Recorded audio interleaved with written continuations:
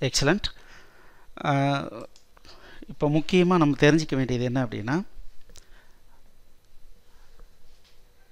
Heart டிஸ்கில் இல்லை ஏதாவது ஒரு ஸ்டோரேஜ் டிவைஸில் நம்ம ஃபைல்ஸ் நம்ம நிறைய பார்த்திங்கன்னா நம்ம ஒர்க் பண்ணுற எல்லாத்தையும் ஃபைல்ஸ் அப்படின்ற ஒரு இடத்துல தான் கொண்டு போய் ஸ்டோர் பண்ணுறோம் அது எங்கே போய் ஸ்டோர் பண்ணுறோம் அப்படின்னா அது டைரக்டரிஸ் அப்படின்ற நேமில் தான் நம்ம போய் ஸ்டோர் பண்ணுறோம் இப்போ ரீசெண்டாக விண்டோஸ் வந்த வாட்டி அதை வந்து ஃபோல்டர் அப்படின்ற கான்செப்டில் சொல்கிறாங்க பட் அப்போது அதை வந்து டைரக்டரி அப்படின்னு தான் சொல்லுவாங்க.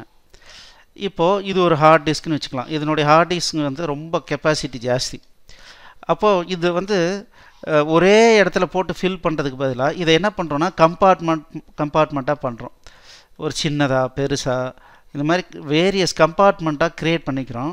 எதுக்குன்னா ஃப்யூச்சரில் நமக்கு தேவையான ஃபைலை எங்கெங்கே இருக்கும் அப்படின்றத போய் அந்த இடத்துல போய் தொலைவிக்கலாம். இப்போ பார்த்தீங்கன்னா நான் என்ன பண்ணுறேன் இதில் இமேஜஸ்னு ஒரு டைரக்டரின்னு வச்சுக்கிறேன்.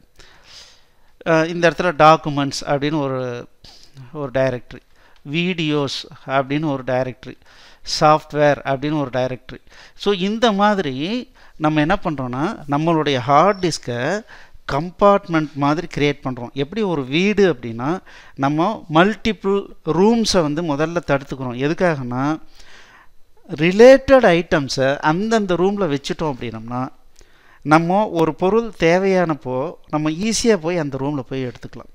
அதே கான்செப்ட் தான் இந்த ஹார்ட் டிஸ்க் ஹார்ட் டிஸ்க்ன்றது லட்சக்கணக்கான இன்ஃபர்மேஷனை தனித்தனியாக கொண்டு போய் ஸ்டோர் பண்ணுற அளவுக்கு கெப்பாசிட்டி அதிகமாக இருக்குது அதை ஒரே இடத்துல கொண்டு போய் ஸ்டோர் பண்ணிட்டோம் அப்படின்னம்னா அது இப்போ எப்படின்னா எல்லா டாக்குமெண்ட்டையும் கொண்டு போய் ஒரே இடத்துல வச்சோம்னு வச்சிங்களேன் நமக்கு வேணுங்கிற டாக்குமெண்ட் எப்படி எடுக்கிறது? ரொம்ப கஷ்டம்.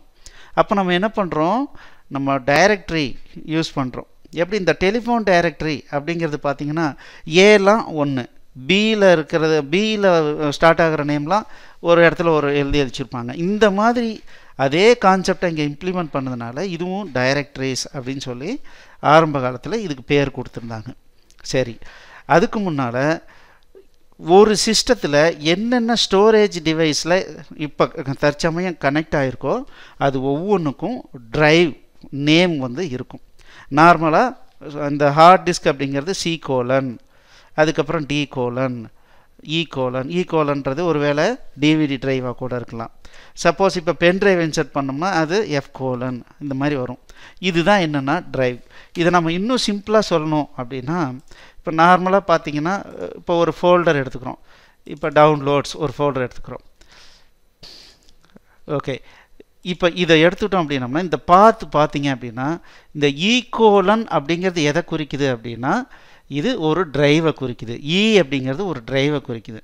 அதுக்கப்புறம் ஈகோலனில் எஸ்ஹெச்எஸ்எஸ் அப்படிங்கிறது ஒரு டைரக்டரி அந்த எஸ்ஹெச்எஸ்ஸை வந்து எகெயின் டிவைட் பண்ணியிருக்கோம். அதுக்குள்ளார வீடியோ ட்ரைனிங் அப்படிங்கிறது ஒரு டைரக்டரி அதுக்குள்ளார பேட்ச் ப்ராசஸிங் அப்படிங்கிறது ஒரு டைரக்டரி அதுக்குள்ளார ரெக்கார்டிங் அப்படிங்கிறது ஒரு டைரக்டரி சப்போஸ் இந்த பேட்ச் ப்ராசஸிங்குள்ளார வந்தோன்னா நிறைய டைரக்டரி வச்சுருக்கேன்.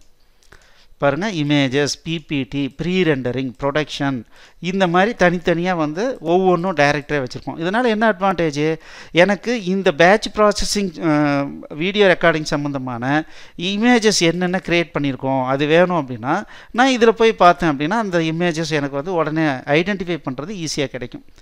ஸோ இப்போ பார்த்தீங்கன்னா இப்போ இதில் என்ன இருக்குது சி ட்ரைவ் இருக்குது டி ட்ரைவ் இருக்குது இ e ட்ரைவ் இருக்குது இப்போ இந்த ரெக்கார்டிங் பண்ணுற ஃபைலெல்லாம் நான் e இ ட்ரைவில் தான் போட போகிறேன் அப்படின்னு முடிவு பண்ணிட்டேன்.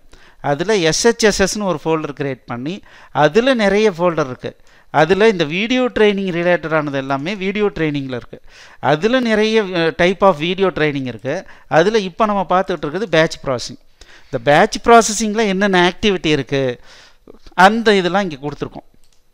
ஸோ இதுக்குள்ளார போயிட்டு ஒவ்வொன்றையும் ஸ்டோர் பண்ணிக்கிறோம்.